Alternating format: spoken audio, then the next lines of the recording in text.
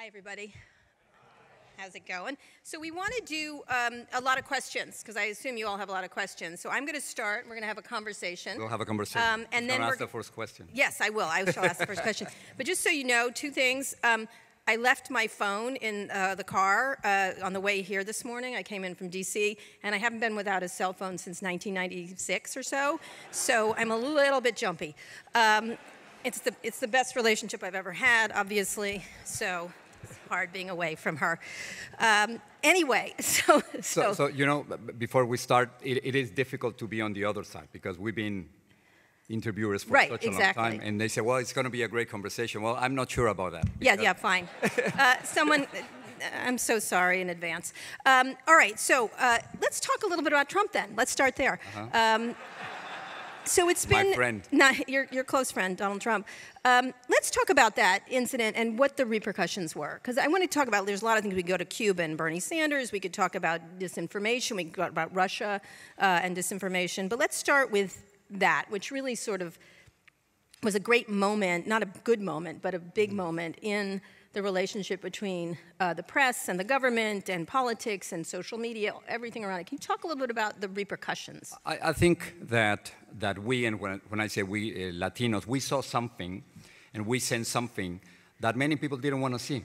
When he said, um, after going down the stairs and, and announcing that he wanted to be president, when he said that Mexican immigrants were criminals and rapists, he was talking about me. I'm a Mexican immigrant. And so I did what you would have done. Mm-hmm. I, I sent him a, a letter to mm-hmm. his office in, in New York, mm-hmm. uh, FedEx, and he got it. And instead of just responding, no, I don't want to do an interview with you, I told him that I wanted to talk to him. That I had many questions. So instead of doing that, he published the letter on, on Instagram and with my phone number on it. So I had to change my phone, obviously. That number, I clearly didn't like it. And, and I said, well, now it's my turn. So I was looking for the right moment to confront Donald Trump, just to tell him what you said about Mexican immigrants was racist, it was wrong, and as a journalist, I have the right to ask you a question. So, uh, how many people, how many of you have gone to Dubuque, Iowa? Yeah, that, that, that's what, yeah, just a few. Well, so we found that he was going to give a press conference in Dubuque, Iowa, not in New York because it would have been with uh, thousands of journalists. And then in Dubuque, um, I was sitting on the front row, and then, as, as you would have done in any press conference, I saw a moment of silence, less than a second. I stood up and I said, I have a question. I have a question about immigration. And he just didn't want to, he just didn't want to answer. He told me, go back to Univision. Basically, he was saying, uh, go back to Mexico. That's exactly what he meant. Another racist comment. And instead of answering the question, his bodyguard took me out of that press conference. The only other person that has done something similar, it was Fidel Castro with his bodyguards. Mm-hmm. So, So- that's what happened. What, there was immediate repercussions, speaking of using Instagram and social media, across social media when this happened. Mm-hmm. What was the result from your point of view? What do you think it, it did for good and not so good? As, as we were saying, everything is public now. Mm-hmm. And, and with social media, now we just didn't, didn't have to wait for the newscast at 6.30 to find out exactly what was happening. Um, he, he was a master, and he's still a master of, of using social media for his own purposes. And, but on the other hand, I think there's a lot of resistance to that. So uh, the fact that he published my, my phone number on, on Instagram and that everybody knows that number, uh, everybody knew that number, and I got all kinds of messages from, from people uh, telling me um, that we were doing exactly what, what we needed to do, to people asking for, for a job and even sending some songs to me. Okay, all right. There's a plus side to everything. It I was, guess. yeah, it, so not everything was negative. Yeah, so being trolled by Donald Trump has its advantages, I guess. Um, all right, so um, when, when, but when that happened, the relationship, it sort of began something that happened over and over again. And it's all swirling around in a more system, systemic way around disinformation, around telling lies, around uh, uh, saying them in public, sort of telling lies in public and continuing them. Um, that continues to today. When I was leaving the hotel room today, uh, there was a, a, a headline on CNN that said, um, Donald Trump won't talk, won't say if he thinks Russia has been involved in these elections. Mm-hmm. Just won't say it, or won't say it. And, and on the weekend, the National Security Advisor uh, was saying he had never seen analysis about the Russians being involved, which is a lie because there is he may not have seen it that may be he may be partially telling the truth he, he, he lies a lot and, and, we saw something that that people just didn't want to pay attention to we were saying we know what's happening on that day in, in Dubuque, Iowa, mm-hmm. um, he just made another racist statement. He attacked the, um, the, press in ways in which I never expected, and he kept on lying. Uh, he, he, said, for instance, that, I had, that he didn't know who I was then. If he didn't know who I was, how come he said, go back to Univision? Mm-hmm. So the fact that he was lying, and he has lied more than 2,000 times, according to the Washington Post, right? Mm-hmm. 15,000, but go ahead. Okay. Who's counting? All right um, and the fact that he was attacking the press right there, and the fact that he was making racist statements. And then many journalists uh, and many people in the United States didn't want to see that. They, they were saying, oh, Jorge, come on, you're, you're, a Latino, maybe you're too sensitive, you don't know exactly who, who he is. He's not going to be here for long. And we were right. We were absolutely right so from what, the beginning. How has that affected your job? I want to get beyond Trump because everyone sure. always just talks about what, what is because it's been copied by a lot of people, and a lot of people are using social media to bypass reporters and mm-hmm. journalists and to tell their stories on their own. And sometimes it works, and sometimes it doesn't. But what? How does it affect your job? Because you had a point of view, you know, early yeah. on. Everyone's like, uh, he shouldn't have a point of view. I heard that from some people.